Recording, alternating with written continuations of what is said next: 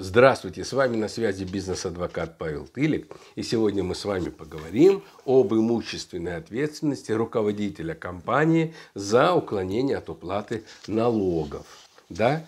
То есть э, компания работала, работала, вот уклонилась от уплаты налогов, руководителя привлекает к уголовной ответственности, да, по части там первой или части второй, да, статьи 199 Уголовного кодекса, да, а плюс к этому после уклонения, после еще привлечения к уголовной ответственности наступает материальная ответственность, да, за причинение э, государству убытков, да, или ущерба, причиненного в результате такого уклонения.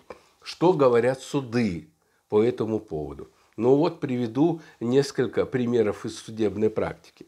Есть, так сказать, положительная судебная практика, которая воспользовалась разъяснениями данными э, постановления Конституционного суда Российской Федерации номер 39П от там, декабря 2017 года. А есть, так сказать, совершенно другие. Ну, вот, допустим, из я бы рекомендовал это все почитать, да. Вот есть решение Хабаровского районного э, суда Хабаровского края, да, от 19 декабря 2017 года, который очень четко вынес свой вердикт и отказал во взыскании э, вот этих вот убытков, причиненных государству, налоговому органу. Почитайте его, посмотрите, найдите. Или постановление Президиума Перского, Пермского краевого суда от 27 апреля 2018 года, где точно так же просто учли э, вот эти все разъяснения э, вот, э, Конституционного суда Российской Федерации и отказали. Но есть и негативные, есть отрицательные решения. И уже Конституционный суд вынес вот это вот свое постановление 39П, да, а тем не менее продолжают взыскивать и пени, и штрафы с э, руководителя компании. Ну вот, ну, относительно, так сказать, свежее. Решение Саламбальского районного суда города Архангельска от 19 июня 2018 года по части, по пункту Б части 2 статьи 199.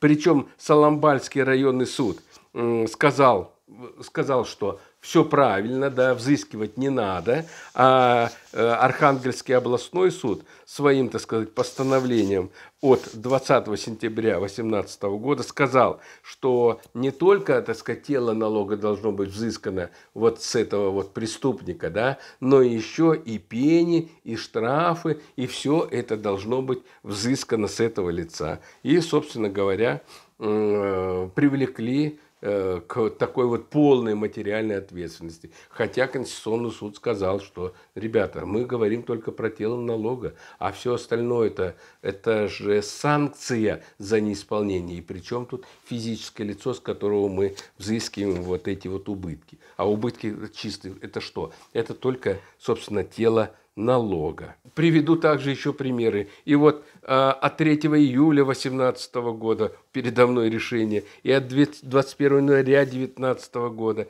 когда э, пени были взысканы решениями судов. Хотя Конституционный суд в постановлении 39П, уже повторяюсь, да, в общем-то сказал, что нельзя так делать. Но, тем не менее, тем не менее, не стоит руки опускать надо бороться за свои права, да, отстаивать. Конституционный суд в 39П очень хорошо все описал. И у меня еще есть целый список. Вот здесь я его, конечно, уже приводить сейчас не буду, да, но у меня есть целый список положительных решений, но положительных не в сторону государства, да, ну я, я так сказать, защищаю же в данном случае не государство, а граждан от э, предъявления обвинений со стороны государства, да, ну, в частности, э, предъявления обвинений в уклонении от уплаты налогов. И, естественно, привлечение руководителей организации к э, материальной ответственности, вот если мы сейчас говорим в данном случае, да, то есть большой ряд решений, где суды, в общем-то, придерживаются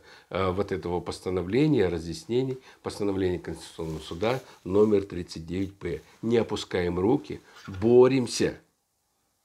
Не забывайте ставить лайки. У меня на этом все. Всем удачи и пока. С вами на связи был бизнес-адвокат Павел Тылик.